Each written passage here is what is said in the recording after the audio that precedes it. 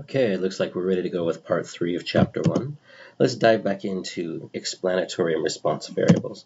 Very frequently, you'll have a study with exactly two variables, or if it has more variables, a certain analysis is only two variables. And in that case, it becomes important to determine which variable is which, because those two variables usually, at least in the mind of the researchers, um, are playing different roles in a study. A one variable, specifically, is sometimes suspected or hypothesized or theorized to influence the other one. So there's a clear causal chain. There's a chain in time. Variable 1 comes first and then variable 2 changes. When variable 1 does something, then variable 2 responds. And the, the first one, the one that's suspected to do the influencing, can be called the explanatory variable, and the second one can be called the response variable. Whatever our suspicions are as researcher, as researchers, and frequently we have very causal suspicions. This is because mm-hmm. it's a causal universe and we want to try and explain what's causing what, right? We don't just want to see what's associated with what, we want to see what actually makes something happen.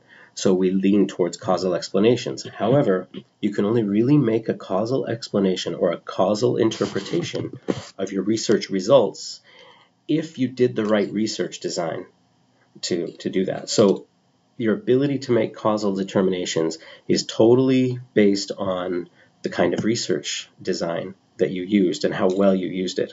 So when you're reading uh, research or when you're writing up your own research or doing analyses for this class or something like that, you cannot use causal language, at least validly. I mean, you can do whatever you want. You can be as crazy or stupid as you want to be.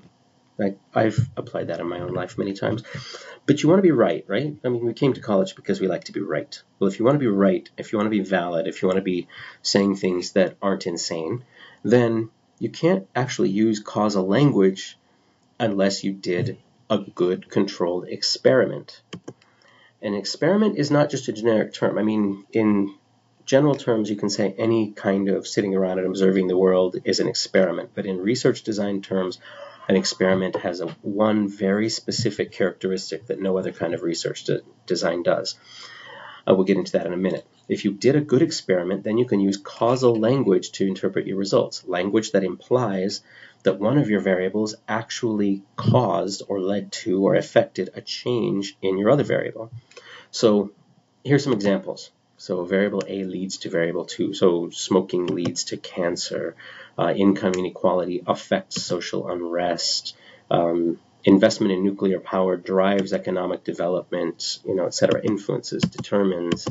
These are all variables that are usually implying causation. So you have to be very careful not to use this kind of language. This is far from an exhaustive list. But uh, you have to be very careful not to use this language unless it's warranted, unless you did the right kind of research study. And when you read other people's research and they start using this research, this kind of language, you need to say, wait a minute, did they do the right kind of research design to determine that there was some causality happening there? Are they appropriately respecting the kind of research experiment that they did? Or are they trying to stretch what they did into something it really isn't? So here's an application question um, that we can use to discuss some of these issues of experimenting. This is an experiment. Um, you want to affect types of light on exam performance. 180 students uh, show up. Now these are selected by some process. We don't know how they were selected. We don't know how they were sampled, right? We don't know what the population is, so let's leave that out of this. But they are randomly assigned, which is different. After they've been selected, then you divide them into groups sometimes. And when you divide them into groups, one of the best ways to do that is randomly, and that's called random assignment. So they have three classrooms. One classroom is dimly lit, another has yellow lighting, and a third has white lighting. And then they're all given the same exam, and of course you want to compare and see who does better on that exam, right? Classroom 1, Classroom 2, Classroom 3. So which of the following is, is correct? I'll pause here for a second and let you read this. Um, you might want to pause your video so you can think about it, and then I'll give you the right answer. All right, I'm going to move on. Here's the right answer. Now, first of all, you need to get these in the right order. The researchers believed that type of light would affect exam performance. That's the direction of causality. Now, if they had switched it around and said exam performance would be affected by, that's just a different wording. It's still exam performance being affected. It's still light affecting performance. So explanatory has to be something about the light and response has to be something about performance. But in this case, you have to also try and get the terminology right. So this is this becomes kind of an issue that people don't really teach you about, but you need to find one noun phrase or a noun that describes your variable that includes all the possibilities of your variable. Sometimes you punt and, and you don't and you just describe all the levels, but it's better. It's it's not as good to say dimly lit yellow and white fluorescent is my variable because that's technically not true. It's better to say type of light.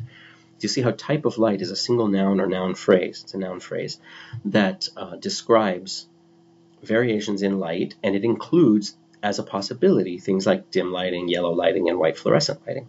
So that's the name of a variable rather than the levels or possible values of the variable. That variable, by the way, is a categorical variable with three levels. It's unordered, regular, categorical.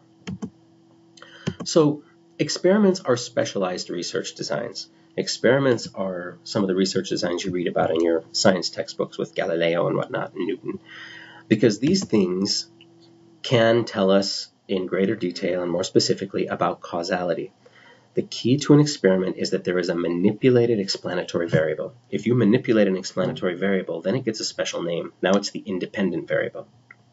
Technically, you're not supposed to use independent and dependent except with experiments, but a lot of people mess with that rule. But technically, it becomes an independent variable only when you manipulate it. And then you measure the response variable. So that's experimentation in a nutshell. Go mess with something and then jump back and watch and see what happens. The thing you messed with is the independent variable, and the thing you watch to see what happens is the dependent variable. So in, in an experiment, they have special names. Explanatory and response are independent and dependent variables. Now, manipulation means that the researcher determined the conditions under which something would happen. The researcher determined the experience that the participants, whether they're human or not, would have. So, excuse me, it, in the light experience, the researcher has to decide who goes into which classroom. If you just say pick a classroom, now it's not an experiment anymore. If you just let people pick their own classrooms, now it is an observational study. An observational study is where things happen as they were going to happen normally and nobody manipulates, nobody interferes, nobody decides what a person's experience or what an individual's experience in that study is going to be. And you still measure the outcome variable, but you measure the explanatory variable too. So if you let people decide which room to go into with the three types of light, then first you're just measuring which room they went into, and second you're measuring how well they did on the exam. But you see how that screws up your ability to have causal interpretations. So in the second situation where you just let people decide which room to go into, um, afterwards you might want to say, wow, the people in group three had higher scores on the exam. So fluorescent lights actually make people get higher scores. Can you think of how that's not necessarily the case? There's there's another possibility now, right? The possibility is that whatever it was that caused people to want to go into fluorescent rooms, that was responsible both for them going into the fluorescent rooms and also their high score on the exam, or maybe even a preference for, for, for fluorescent rooms. Whoever likes fluorescent lights the most, they're the they're the ones who do the best in the exams there are possibilities you cannot rule out now. Whereas if you had just manipulated and, said, and said, you will go here and you will go here, especially if you've done it randomly, randomly assigned to people, then you can't, then somebody can't criticize you afterwards and say, well, what if people who just like fluorescent lights, you can say, no, no, they didn't get to choose. People who liked the lights didn't go in there. I told them to go in there. So sure, some people who liked lights were in there, but some people who hated fluorescent lights were probably in there. And so fluorescent light lovers were probably in the other two rooms too. So your criticism is invalid. I have a windmill in my beard. Um, in, in both cases, we call the variables x and y. x is whichever one we suspect is doing some causing, and y is whichever one we suspect is getting affected by x. And a lot of textbooks still take in observational um, studies, they still call the explanatory and response variables the independent and dependent variable, but that's not technically correct. Explanatory and response is a little better. Now, let's look at this example here. Let's look at this, this uh, write-up of a study.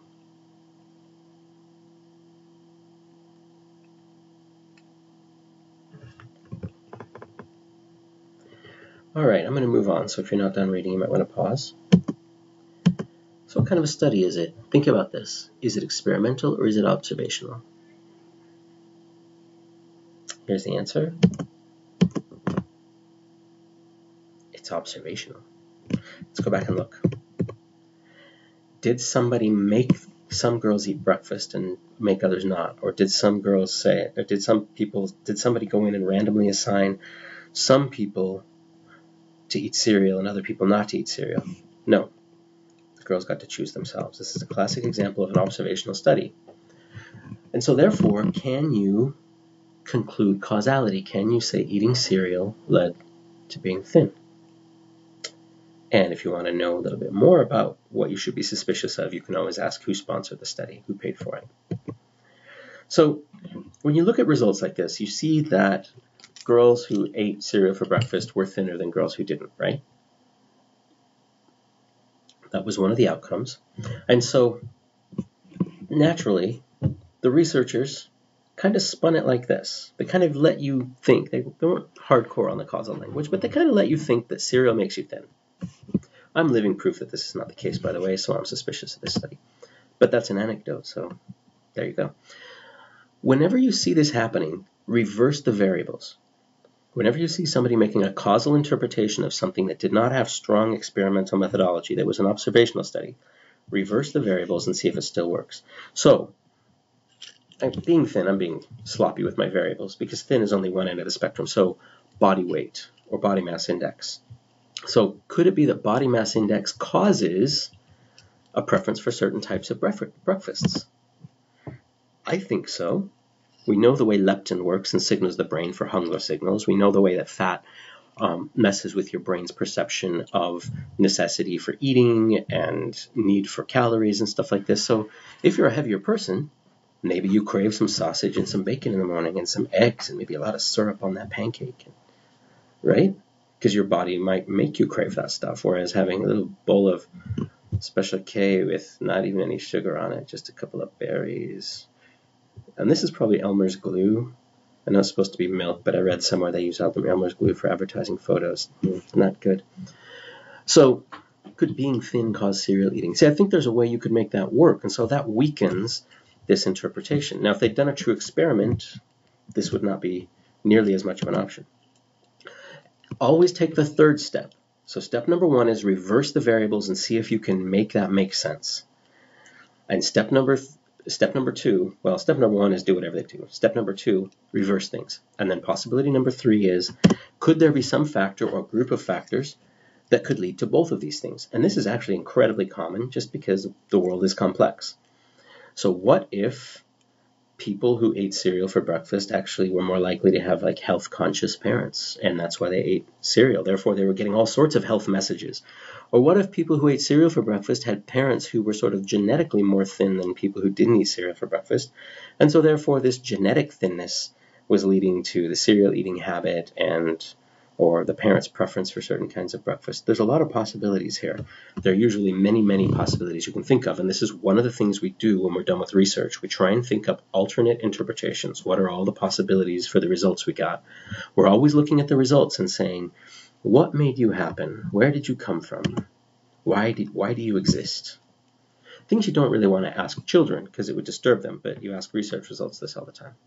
So trying to figure out what's actually going on in the world, we look at sampling methods quite a lot. We're trying to select, I mean, you know, what, a sample is just some of the population, right? But which sum, which subset of observations is a huge deal. So the easiest kind of sample to conceptualize, but very difficult to do sometimes, is a simple random sample. A simple random sample is you just have one group of participants in your study and they came from the population. You just, like if you're doing a simple random sample of everybody in Chicago, you would just get, I don't know, a census list of every single person in the whole freaking city, and then you would randomly select as many of them as you could afford or decided was good. Maybe you're only going to get like a hundred of them or something, and you randomly, truly randomly, like you tell a computer to randomly select, or you use a table, a random number table, and go through the phone book and code people's numbers and select people randomly. And then you call those people. That can be messy because what if people don't want to participate? And more importantly, what if you can't actually get the full list? What if uh, some people on the list don't want to come, etc.? And sometimes it doesn't really represent everything who's supposed, everybody who's supposed to be represented. There's a possibility that you would miss some important kinds of variability just because random means anything can happen. So sometimes we do a stratified sample. A stratified sample is where on one or more variables that you know to be important, you group your sample in ways that you imagine or you know that the population is grouped. So let's say um, you find a city somewhere and you're trying to find out people's approval rating of the mayor, and you think race and ethnicity is an important issue. But there are only three races, ethnicities in the entire city. Some people identify themselves as Caucasian white, some people identify themselves as African American black, and some people identify themselves as Hispanic. They're 85% white people, 15% black people, 5% Hispanic people. And you're going to do a sample of 100 people out of this city of, say, 50,000. Well, in your sample of 100 people, you would divide your sample, and your first group would be 85 people. Since there's 85% white people in the city, then your then 85% of your sample, or 85 people, better be white people. Now those people should be randomly selected from all possible white people in the city. So it's random within that stratum, within that layer. And then the next group would be 15 people in your sample, 15% of your sample should be black because there are 15% black people in the city. So you, those 15 people are randomly selected from the 15% of the 50,000 people in the town who are black. And then the last five people in your sample should be Hispanic because there are 5% uh, Hispanic people in the population and there are 5% Hispanic people in your sample. So stratified sampling can get really complex if you have multiple variables to stratify on, but it can yield some extremely good results, some extremely accurate results, and a lot of major polling companies use this kind of sampling strategy regularly. So cluster sampling is a, a, little bit of a different one. Sometimes we use this in like educational research. You see this in political research where the units of measurement aren't necessarily people, sometimes, or sometimes if it's people. But a classic example is like, say, you're studying schools uh, around the country. And there are thousands of school districts around the country, right? There are a lot of school districts and a lot of schools. And so let's say you're going to, you decide that you're going to interview all the teachers in um, 10 school districts. So you just randomly select the school district. So the population could be clustered by school districts, and then you randomly sample a few school districts, and then you try and sample and you try and um, observe, get observations from every individual within the cluster. So you have 10 school districts, and then you try and interview every single teacher in each of those school districts. So you're not randomly selecting from within the clusters. In this case, you're randomly selecting the clusters. But you can also randomly select clusters and then randomly select from within the clusters. All infinite variations are possible. So now that we've just busted that out, let's talk about experiments again. The main thing about experiments that makes them uh, amenable to causal interpretation, besides manipulating an independent variable, that's the most important one. Once you've manipulated the variable, you also have to control extraneous sources of influence. So what we mean by that is anything that would screw up your ability to make a causal interpretation at the end. So let's imagine the light study, dim light, yellow light, white light, right? People went into three different classrooms. What if the dim light, yellow light, and white light conditions were randomly assigned, but happened on different days?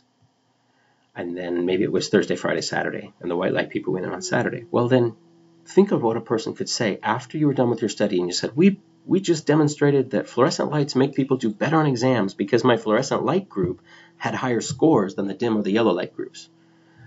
Well, you can think of a really good rejoinder to that, right? You can say, well, maybe the fluorescent light group, because they came in on Saturday, there was something about being in there on Saturday that's made them have higher scores. Maybe it wasn't the light. Maybe it was that they were relaxed and had more time on their hands or felt cheerful because it was Saturday morning. Who knows?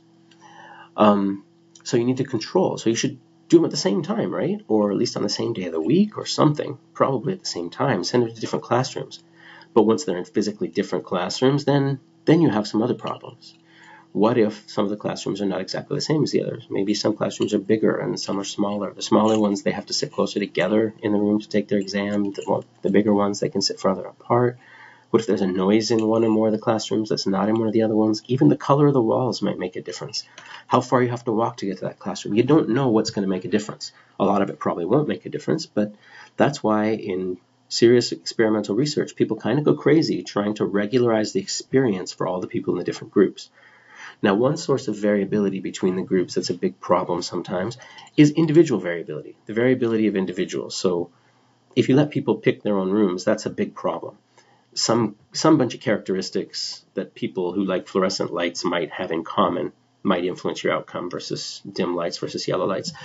So randomization, random assignment, not sampling, but assignment, is one of the ways that we minimize that. So we send, once you get your whole group of 180 people, then you randomly decide which, which uh, is it six? Yeah, which 60 of them go to this group and which 60 go to this group and which 60 go to this group. And so that should take care of the individual variation. It's not guaranteed to, but with 60 in each group, that's a pretty good number. You can, you wouldn't expect much variation between groups, but you test for it when you're done, just to check. But the most important thing here, I think, is, is replication. Replication is just when you do the study again, or someone else does the study again using your methods and see if you get the same results. Psychology has a big problem with that, and if you want to read online about this, you'll find out that we're, at least there are some people within psychological research trying to address this issue that we don't replicate our studies, and sometimes when we do replicate our studies, we get different results. That's hmm. bad. Well, it's not bad, it's just bad that we didn't replicate them in the first place, because now we have a screwed up idea of what the world is and what people's thoughts and behavior are actually about. I'm not going to go into blocking because we're not going to learn about it. It's not going to be on any tests. Um, you can read about it in the book if you like. There's a decent description of it there. And I think I'm going to be all done now. And we'll move on to the next uh, little video here in a few minutes.